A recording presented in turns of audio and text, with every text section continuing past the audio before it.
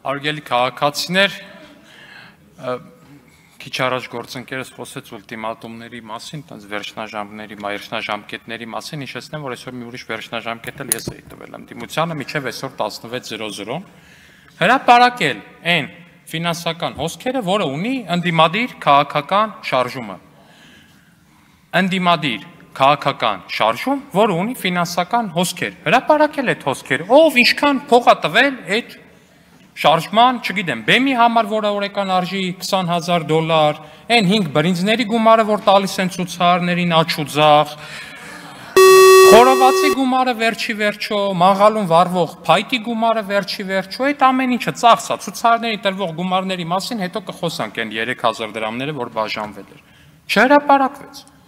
Հա, ձեզ եմ դիմել ես, ասել եմ հարգելի падգամավորներ, հրաապարակեք այդ ծախսերը, չեք հրաապարակել։ Չգիտեմ, այն ինչ որ մի հատ խամաչիկ ունեք այնտեղ շրջազգեստով, ինչ որ վիրավորական արտահայտություններ արել, դրան չեմ արձագանքի։ Այդ մանկամտությանը չեմ արձագանքի։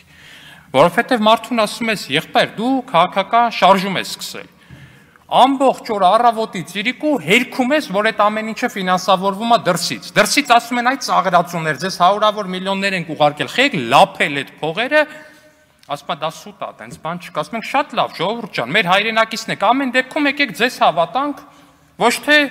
Ռուսաստանի ռոպագանդիստներին, հարց չկա, ձեզ ենք հավատում, բայց հրաապարակեք այդ ձեր ֆինանսական հոսքերը։ Է չեք հրաապարակում։ Գնում լրագրողը մոտենված ասել են հրաապարակի, հրաապարակի, ասում է, չգիտեմ, մի հատ վիրավորական արտահայտություն ա, չեմ ուզում մեկնաբանեմ կամ մտնեմ այդ տիրույթ, այդ ողորմելի տիրույթ, որում գոյատևում են տարատեսակ կերպարներ։ Դա դրա մասին եք դուք։ Ու հիմա, քանի որ այդ վերջնաժամկետն է անցած, ֆինանսական հոսքերն էլ հրապարակված չեն, պարոնայք ընդդիմադիր падգամավորներ։ Խեք կերել Իգոր Կորոչենկոյի կողմից նշված հարյուրավոր միլիոնները խեք կերել։ Մարդիկ փող են ուղարկել, որ դուք ստեղ հեղափոխություն անեք։ Խեք կերել այդ փողերը։ Հո դուք անկուշտ չեք։ Մի օր կգա, որ տեսնեք, մի օր կգա Ուրեմն մի հատ տեղետ նստեցիր խելոք ու այդ տոնով չխոսացիր իմ հետ։ Լրություն։ Չխառնես անկած։ Yeah։ Լրություն։ Ուրեմն խելոք կնստես տեղետ ու կլսես։ Էլ մյուս անգամ այդ տոնով ձենետ չբարձրացնես ստեղ։ Պարոն Ալեքսանյան։ Խնդրում եմ լրություն։ Մի րոպե, մի րոպե, մի րոպե, մի րոպե, մի րոպե։ Պարոն Պարսիլյան։ Լրություն։ Լրություն։ Պարոն Հակոբյան, լրություն։ Լրություն, լրություն, լրություն։